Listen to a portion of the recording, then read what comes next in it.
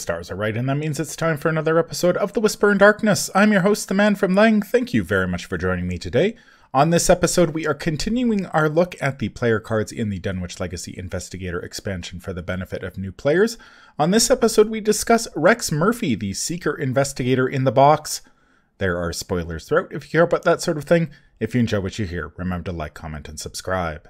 Before we get started, I'd like to thank the patrons of this channel for their tremendous support.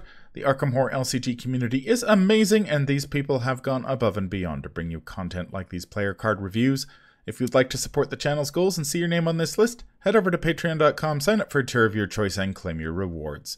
Special thanks to Cole Monroe Chitty for the amazing art that graces the channel, Nicole Fiscus for the new Whisperer in Darkness logo that I use for the podcast, and Nate Lost in Time and Space for the intro as well as the overlays. Thank you very much. I couldn't do it without you. Without further ado, let's get started. Welcome back, everyone, to our reviews of the player cards in the Dunwich Legacy Investigator expansion for new players. We are taking a look at the investigators.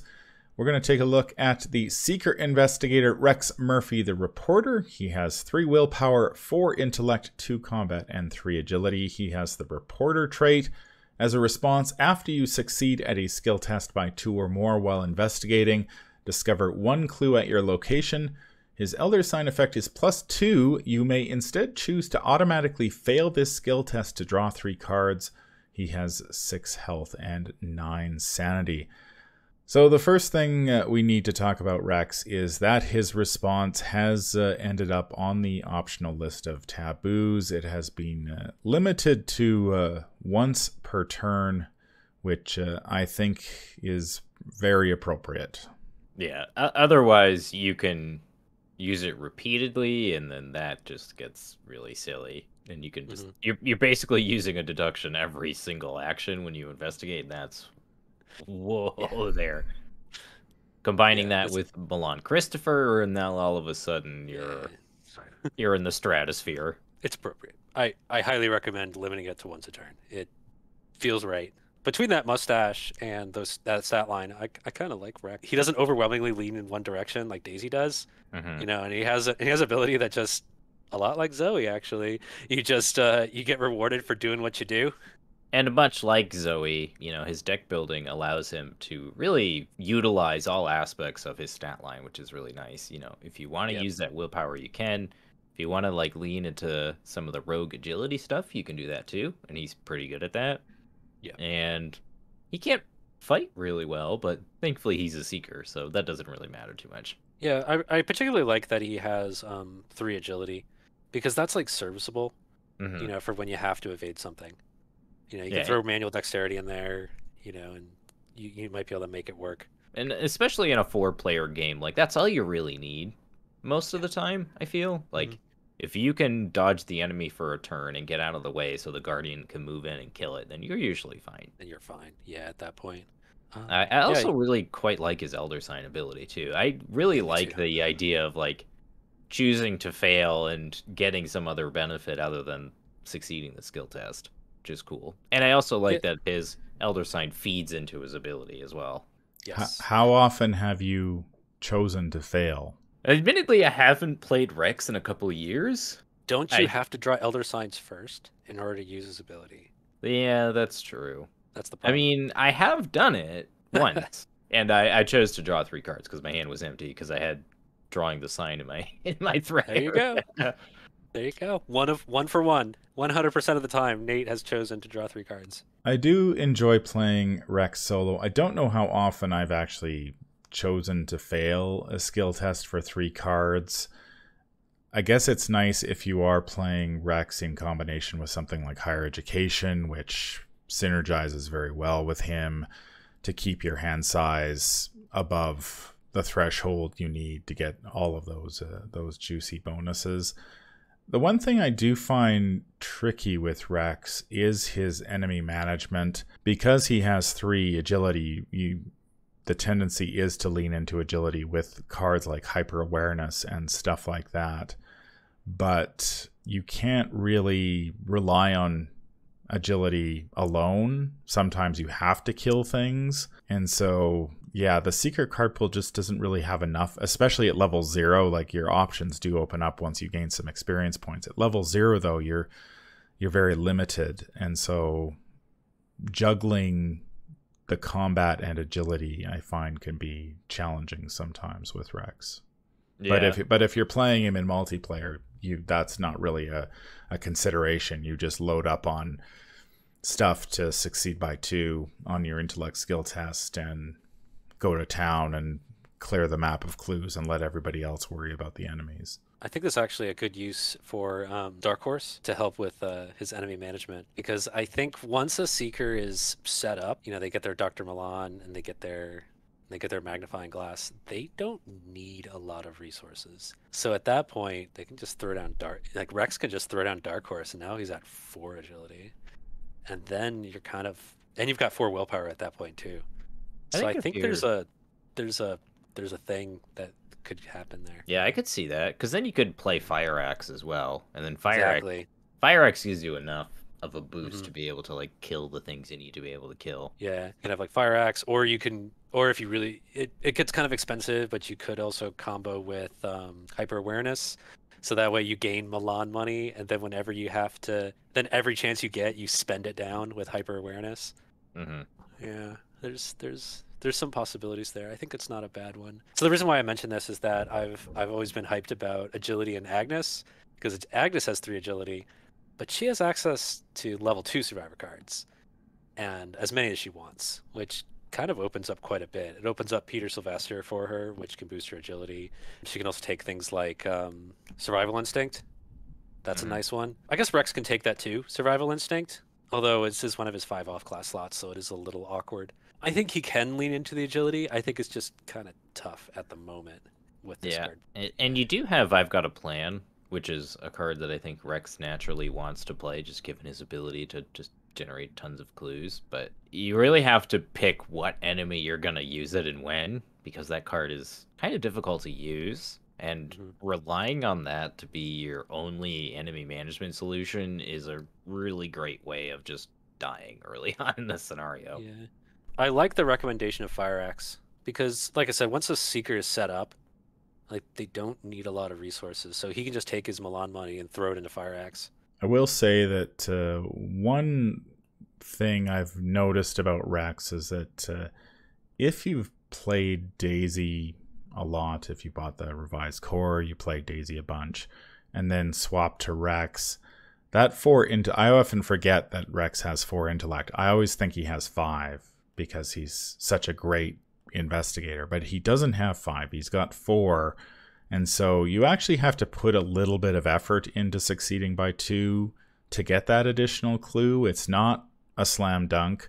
So while Rex is great at gathering clues, he does need help. So you do need to play more skills like uh, perception, unexpected uh, courage, and stuff like that, just to make sure you can get him over the hump, especially at some of those higher shroud locations. If you, you know, once you get up to four and five, if you're trying to gather a lot of clues, and and uh, it should be noted that uh, a lot of Dunwich Legacy locations have a lot of clues on them, especially if you're mm-hmm. playing in multiplayer. So Rex can certainly he needs some help to to trigger that response reliably. Between magnifying glass and Milan, though, that puts you up to a six. Yeah, so, like, then you're in good shape. Yeah, that's that's pretty good. I feel most of the yeah. time. And then if you need the additional boost, like you've got perception and unexpected courage and stuff like that. So like, that's true. that's generally fine. Yeah, and when you're in two player, like you don't have that many four shroud locations that you have mm-hmm. that you're trying to succeed by two on. And when you do, they tend to have two to four, two or four clues on them. They don't exactly have twelve, so you might only have to trigger to get his ability to trigger like once or twice on a four shroud location. So what I'm getting at is it's not like he has to be succeeding by two all the time on every location. Right. Yeah. Right. Yeah. Because generally, the, the locations that have lower shrouds tend to have more clues It's like that's which kind is of what the- he's good at. The balance, yeah. Yeah, so you save the perceptions for things like the four shroud locations that are worth victory points. You know, Mhm. like what's it, Miskatonic University? Yeah. You know, Or and then you're library. yeah, and then you're in good shape. Rex's backside is uh, deck size 30, deck building options, seeker cards uh, level 0 to 5, neutral cards level 0 to 5, and up to 5 level 0 cards from any other class. Deck building requirements include Search for the Truth, Rex's Curse, and one random basic weakness. He does have a deck building restriction that uh, I often forget about. Not that I, I've you know cheated and put fortune cards in my deck, but it's one of those things that if you're not if you haven't played Rex in a while, it's easy to forget. He cannot include fortune cards in his uh, in his deck because uh, by his nature he is cursed. What are some of the uh, your favorite uh, off class cards uh, for Rex? Lucky cigarette case. that Oh. card is so good in Rex. Oh, man. right. That's like his signature card. right, because he likes succeeding by two, and Lucky Cigarette Case triggers off of him succeeding, by two. by two. Yeah. Although that one's Yeah. not in Dunwich, is it? No, However, it's quick in thinking TFA. is.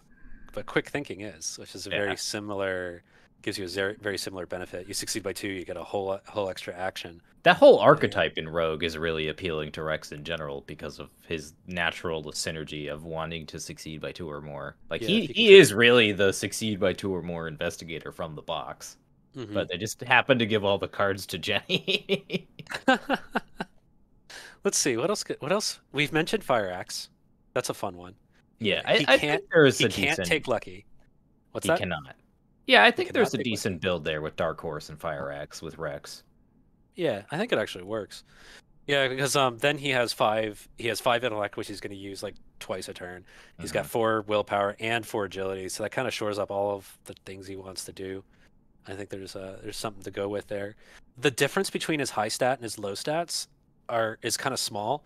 So if he tries to use off class things to like test with a different stat, it often doesn't work out so well. If that Yeah, and I, sense. I feel Yeah. like if you want to do the Seeker Mystic, just play Daisy.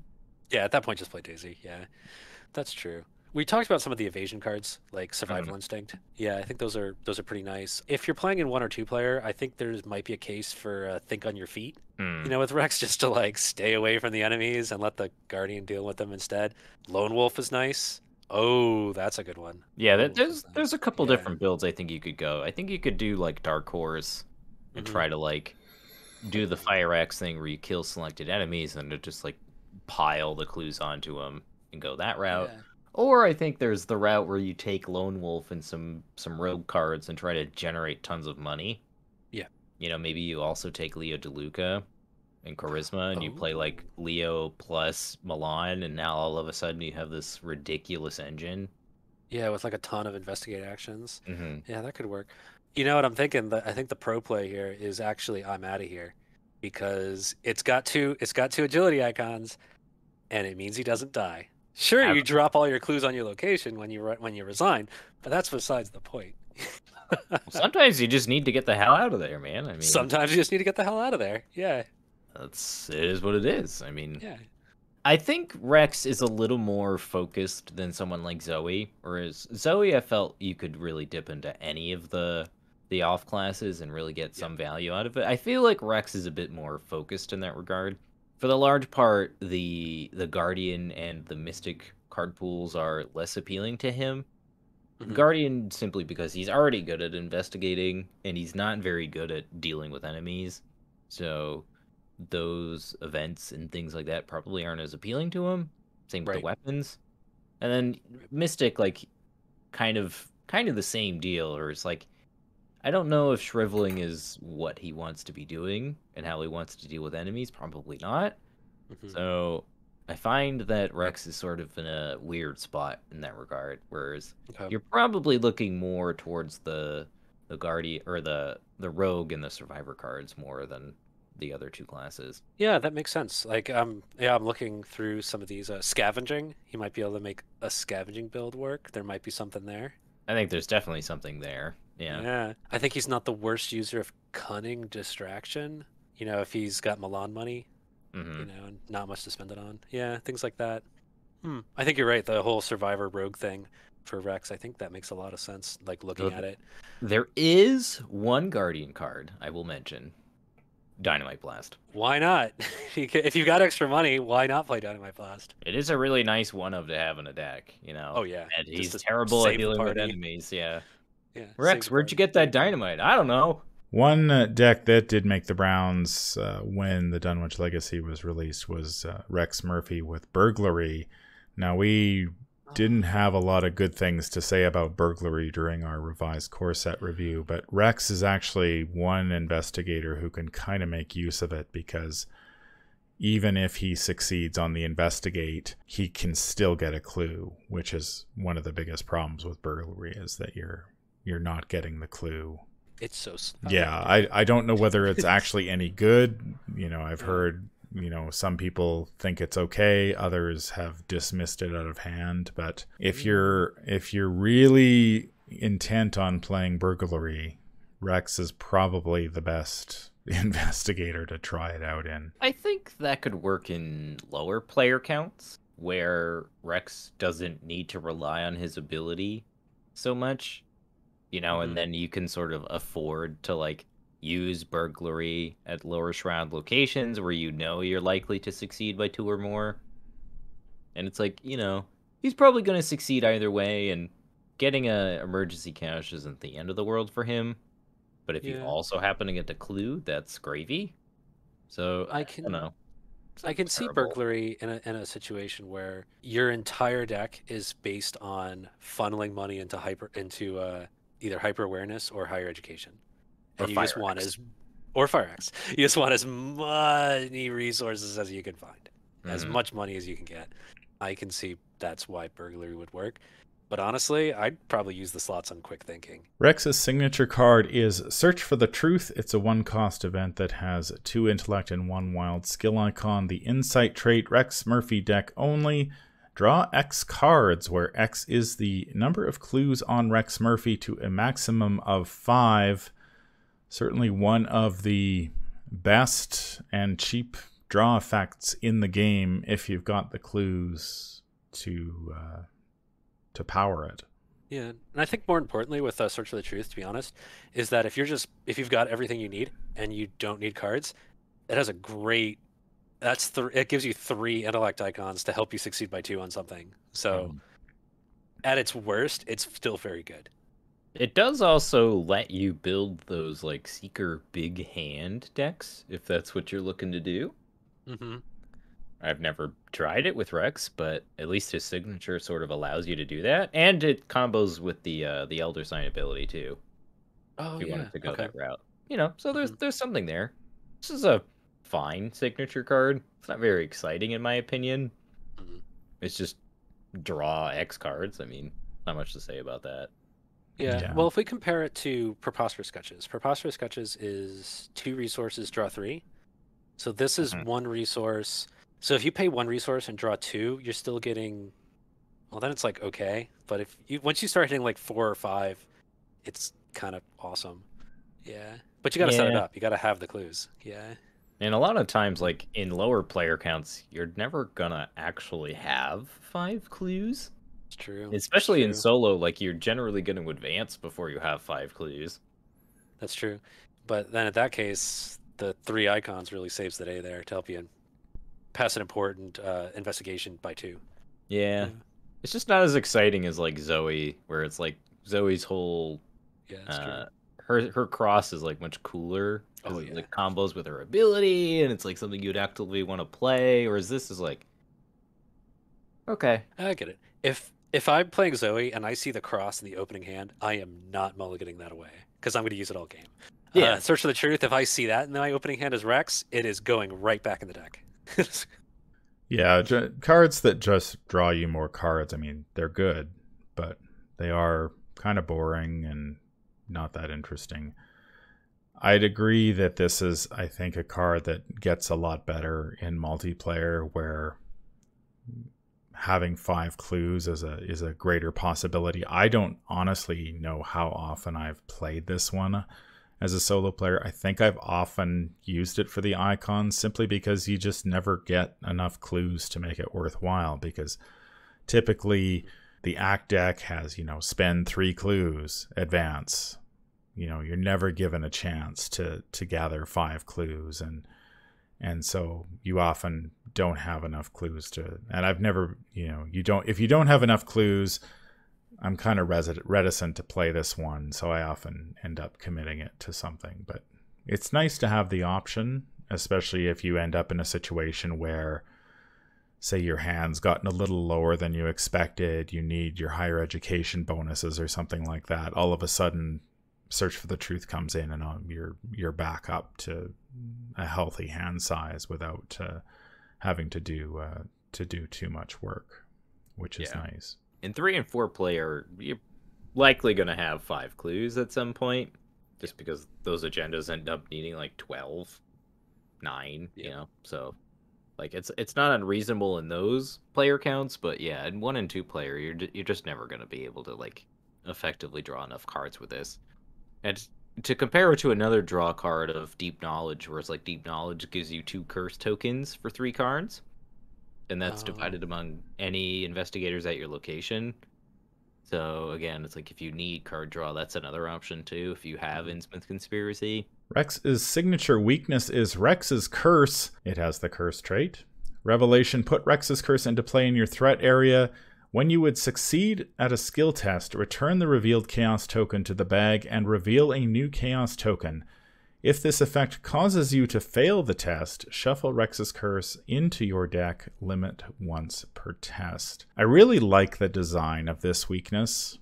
It doesn't necessarily hurt you, but man, I really don't like drawing that second token, especially if I've succeeded with the first one. Yeah, it's very annoying when you succeed by two and you like are relying on that to trigger some effect, whether it's mm-hmm. Rex's ability to draw or get an extra clue or the cigarette case to draw you an extra card.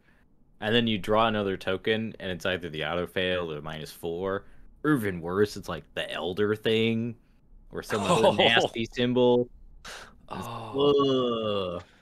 Why? You, you know what's the absolute worst is um, when the scenario token effects for the symbol tokens do a thing regardless of success or failure. So it's like draw cultist, take a horror, put the cultist back in the bag, draw again. He's like mm-hmm. no.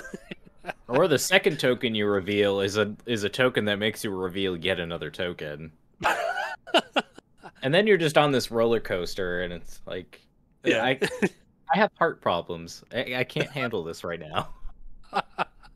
yeah, and what's also really nasty is that even when you it finally goes away, which you can't do that. Like you can't really tell the curse to go away. It has to go away on its own back of the deck. This one actually cost me a game. I believe it was Essex County Express and and the exact situation you were talking about where I pulled a token, I succeeded, and then I pulled the second token and the effect on it caused me to lose the game because of the token itself and I was really annoyed at that oh. point it I mean it doesn't happen that often, but I, that was a very memorable occasion where this one came back to to bite me in the ass. Yeah, the the problem with this one is that it can cause you to fail sometimes, but that failure is unpredictable when it's going to happen. And I think one of the worst parts about this card is it gets shuffled back into your deck, so yeah. it's chewing up your draw during the upkeep phase as well. So not only do you have a chance to fail, but then this thing is gonna to take up valuable draws that you may have needed. I know they've done parallel investigators for all of the uh, the core set investigators. I think Rex is probably the one I'd really like to see from the Dunwich Legacy receive a uh, parallel that works with curse tokens because I think that's just that's just too perfect. But uh, oh yeah, Rex was designed well before the curse token saw the light of day. So, uh, but I think they could do something really fun with fun with that. Yeah, especially yeah. because the seekers already complement drawing curse tokens anyway. So it's like it's yeah. come on, it's right there. And I should note actually that I think some of the curse tech actually has the fortune trait which doesn't work with Rex. Tempt oh Fate, God. I believe, specifically has the fortune oh, trait. Oh, right. And tempt fate is one of the best ways to add curse tokens into the bag. Yeah. But that's neither here nor there. Rex's curse can be quite annoying. It can uh, it can that's the sting at the most inopportune times, which I think is uh, is But very fitting. It doesn't do any damage. Doesn't cause any trauma. Doesn't cost you any XP. Oh you know, no no hold on hold on! It causes trauma, just just not in Just the not game. time. oh yeah, so it's like out of game trauma. Yeah. Yeah, but it, it doesn't. It's not going to cause him to like. It's not going to be like Roland, where he's going to have three mental trauma as a result. You know, it's it's not gonna. It's not going to cause him to soak up resources like Skids' weakness. You know, it's not going to add doom like uh like Agnes's. It's just going to be annoying. And it's gonna, and then it's gonna make you freak out a lot because you gotta like put the token back in the bag. You gotta shuffle it all back over again, and then you gotta and then you got to question your shuffling abilities when you draw the exact same token that you pulled out the first time. And then you got to go, what did I do? Did I am I bad at bag pulling? Is this random? Is that is this random mechanic not random enough because of the physical limitations of my fingers? You know, it causes you to question reality. And so it's perfect. And it does have the potential to whiff. I mean, you could draw this turn one, and it there is a possibility that it could cause you never to fail. Just in which fail. case, it's done nothing. So Yeah. I'll also say though that when you have Rex's curse on the board, you make the when he draws an elder sign, you get to make the choice of whether to auto fail the test with his elder sign before Rex's curse is kick Rex's curse kicks in. So when you have Rex's curse is curse out, pitching that uh, elder sign for three cards is starting to look a bit better. hmm hmm yeah. Yeah, I mean, it's just such a really cool weakness in design. Like, so many of the other weaknesses in this game sort of feel copied or mirrored of each other. Like we were saying with Zoe and um and Janny, is that like no, their weaknesses very feel very similar to one another, and I would argue that Skids and um Roland's weaknesses feel sort of similar to one another as well. You know, there's sort of these like side objectives you got to complete before You got to do it three times. Yeah. Mhm. Rex's weakness is so different than everyone Mhm. else's, and the way it like interacts and just kind of creates this emotional roller coaster throughout the game. is just really exciting, and I think what they should strive for in weaknesses, and I think they've done a much better job at like making weaknesses feel that way.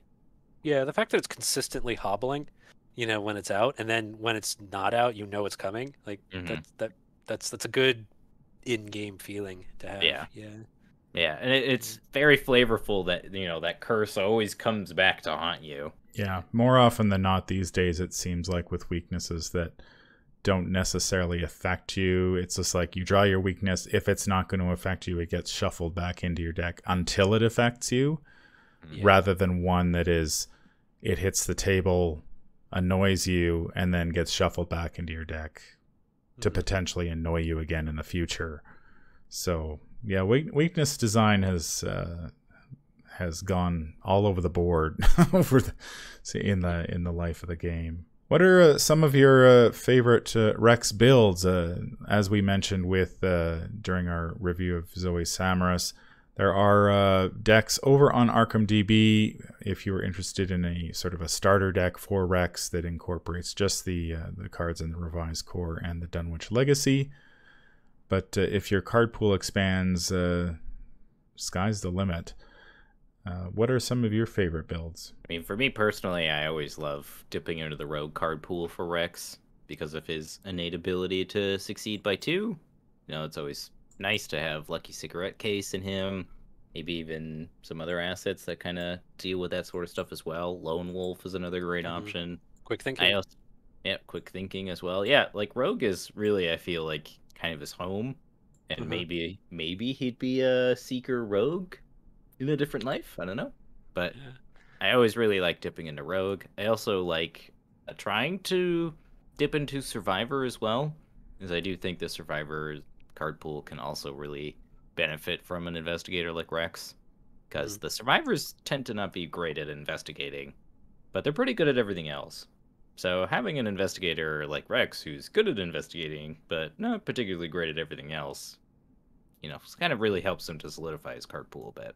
I admit my uh it may not be like the absolutely most effective way of doing Rex, but I, I think it's actually a ton of fun and I've had some good experience with in the past. So you'll note that his reaction says after you succeed at a skill test by two or more while investigating, that doesn't that could be any investigate on any other card. Mm-hmm. Now there aren't so many of these in uh, you know in the core and the Dunwich Legacy, but later on you start getting things like um, oh what's it? My favorite in the know, which lets you investigate like remote investigate a, a, a location far away. So you can use in the know investigate a location far away, but if you if you succeed at that by two or more, you discover a clue at your current location. It's kind of like breaking those boundaries of uh, take and investigate, discover two clues mm. by packing in alternate way alternate cards that let you investigate in weird ways while still discovering clues if you succeed by 2 mm-hmm. I've had a lot of fun with stuff like that. Uh, Pocket Telescope in um, Edge of the Earth does this as well. I think there are. I mean, there's with all of the uh, Dunwich Legacy investigators, you've got a, a lot of different options if you're building a Rex deck for multiplayer, you can simply pack it full of every good Seeker card, Dr. Milan, Higher Education, and just hoover up clues left, right, and center. If you're playing in lower player counts, uh, you've got uh, a few more options. I think Rogue is is certainly one. Survivor is uh, is another. Like we said, Guardian and Mystic, I don't think lend themselves particularly well to Rex's playstyle outside of uh, the revised core and uh, Dunwich, I'm I've always wanted to build a Rex curse deck. I did play one a little bit to test out some of the curse cards, but I didn't find it worked particularly well. Uh, I've also wanted to build a Rex Moonstone deck. It's probably easier to just build a a uh, a dark a Rex Dark Horse build, but uh, Moonstone is one of those cards that I think could be uh, interesting in him buffing his uh, willpower and agility, so making him a little more resilient against the encounter deck. But uh, yeah, he's he is one of my favorite seekers to play when I play seeker, and uh, he's a lot of fun. Any final thoughts about Rex? Yeah, I, I think people sort of harp on Rex a little bit. I think the community consensus is that he is sort of a toxic investigator in a way because he's just so good and he's on the taboo list that people don't really pay much attention to him anymore, but I think he should. I think Rex is a fine investigator, especially nowadays. You know, I think the card pool and the investigator strength overall has sort of risen to Rex's level oh, rather than you know what I mean? Like I I think by and large, all of the investigators can match Rex's abilities pretty well, mm-hmm. barring you keep it limit once per round. Yes. Yeah, because that's the key thing to note about Rex is that a lot of investigators, their special abilities um, are kind of equivalent to an action. Um, perfect example Roland. You do a thing, you get a clue, equivalent to a free investigate once per round. Let's see, Agnes. You take some horror, you get a free damage kind of equivalent to a free fight test once Daisy? per round. Daisy, pretty obvious. You get a free, you get a fourth action with this to put to use on a tome once per round. The thing about Rexes is that you do the thing, like kind of like Roland, but you get to do you would get to do it as many times per round as you want. That was the problem. So by bringing it down to once per round, it, it's like perfect. It it puts him right in line with like lots of other investigators. Zoe, engage a monster. Get a resource. Kind of like taking a resource action once per round. Yeah. Although no, Zoe's Zoe is infinite, right? Yeah. But she's yeah. a weird one because it's really hard to engage lots and lots of things. You can't just yeah. do it over and over. Yeah. You can't yeah, engage the... something that's already engaged with you. You know? Yeah, the big the big difference between an ability like Rex and an ability like Zoe's is that Zoe implies that you're taking on some risk. Yeah. Whereas Plus, it's limited. With... Mm-hmm. Like you you can't just willfully do it. You know. Um, right. Yeah. Where Rex, you can just willfully do it all the time. Mm-hmm. Yeah. So limiting it to once per round, perfect. Yeah, I'd agree that uh, I think when Rex initially came out, he got a, a pretty bad rep as being busted. I don't think he sees as as much play as he used to. Maybe because uh, I think Mandy has taken over the role as the busted seeker, and. Rex has sort of fallen by the wayside a little bit. But I have always enjoyed uh, playing him.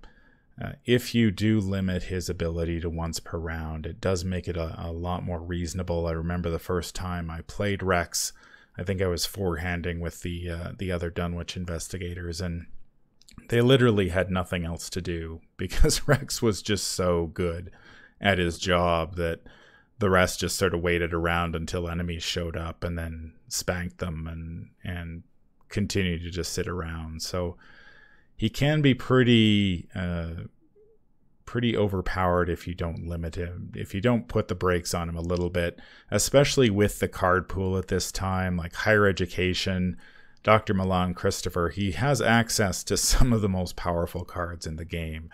And maybe if you were playing those cards in isolation it wouldn't be so bad but you get the combination of Dr. Milan and higher education and then some of the other seeker cards that come along later and they just all sort of synergize with each other so well that uh, he can be a real machine once he gets going. Oh man, I don't even want to imagine Rex with Aeon Chart and Leo DeLuca. Oh, oh extra actions. Yeah. Holy jeez. right, right. If you're not limiting him to once per round more actions, more opportunities to trigger his ability. Mm-hmm. Yeah. And more movement so you can get to more locations so that you can trigger his ability more. Yeah, yeah it snowballs yeah. very quickly. Point being, once per round. That's going to do it for this episode. If you enjoyed what you hear, remember to like, comment, and subscribe. If you need to contact me, I can be reached at manfromleng at gmail.com. I'm also on Twitter at manfromleng. Until the stars are right, keep your shotgun close and your elder sign closer. Take care out there, and happy investigating.